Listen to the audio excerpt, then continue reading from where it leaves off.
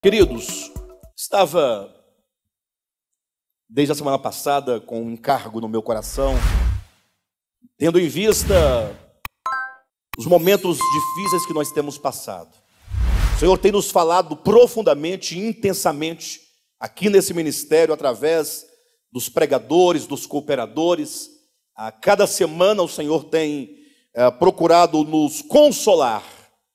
E não somente nos consolar, mas o Senhor tem nos levado também a compreendermos verdades profundas, verdades essenciais, que não raras vezes, mesmo cridas, não são percebidas por falta de contexto, por falta de circunstância. Sempre que nós passamos por dificuldades, por provações, é preciso que nós estejamos muito atentos ao que está acontecendo, para que nós não venhamos a perder, a, não perdamos a, não percamos a oportunidade de sermos trabalhados por Deus e, de alguma maneira, sermos melhorados no nosso coração, melhorados na nossa alma. E então o Senhor tem nos falado, e essa noite o Senhor nos trouxe aqui uma meditação muito singela, muito simples, mas eu tenho certeza que ela vem ao encontro de nossa necessidade. Porque nós temos vivido num tempo em que as pessoas, elas estão com medo muito medo. De certo modo, estão desesperadas. O medo, a angústia, o desespero têm assolado uh, o mundo inteiro.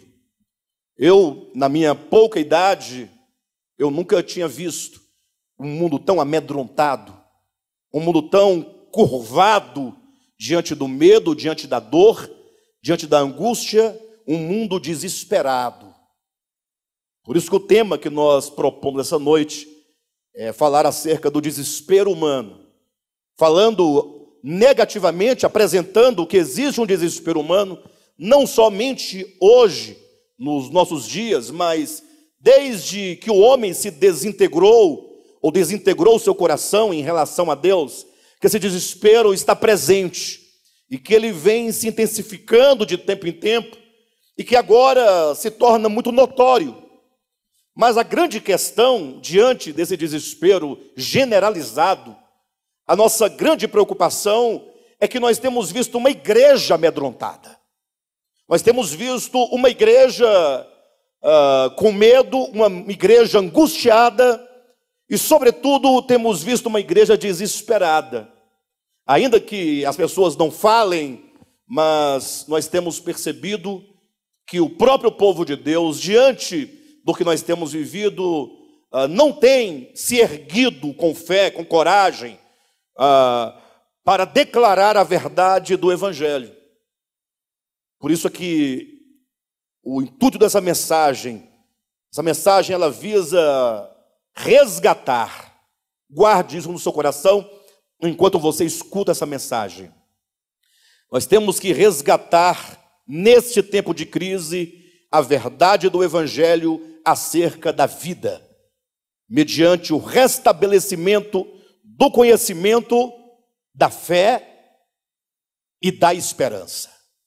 Eu digo isso porque, ah, vivendo nós nesse tempo, nós precisamos de perguntar a nós mesmos, de perguntar à Escritura, o que, que o Evangelho nos fala das vicissitudes dessa nossa existência. O que, que o Evangelho fala das dificuldades que nós enfrentamos? O próprio Cristo declarou, certa ocasião, dizendo: No mundo tereis aflições, mas tende bom ânimo. Nós temos o testemunho das Escrituras, quando aponta para uma igreja no primeiro século, que a despeito de tanta angústia e sofrimento pelos quais eles passaram, era uma igreja que sofria cantando.